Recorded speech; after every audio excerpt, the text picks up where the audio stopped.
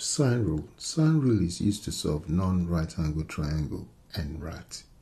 If we have a triangle A, B, and C, where the angle A, the opposite to angle A is little a, and the opposite to angle C is little c, and the opposite to angle B is little b. So to find the side where you can find the angle, to find the side, we write a formula this way.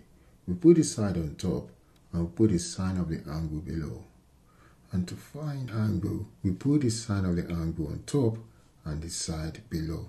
So the reason why we've done that is if we're looking for A, we leave A there and we just take the sine of the angle A and put it here. And if we're looking for B, we leave the B there and we take the sine of angle B and put it there. So B equals A sine B over sine A or A equals B sine A over sine B. And that's how we find the side. If you want to find the angle, you write the sine of the angle on top and the side below. So if we're looking for sine of A, we just leave the sine of A there and we take little a and put it over there. And therefore, we divide both sides by A. A will be sine to the power minus 1, A sine B over B.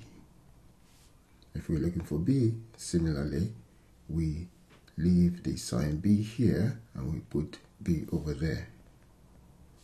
And then we divide both sides by sine and then B equals sine to the power minus 1 open bracket B sine A over A close bracket.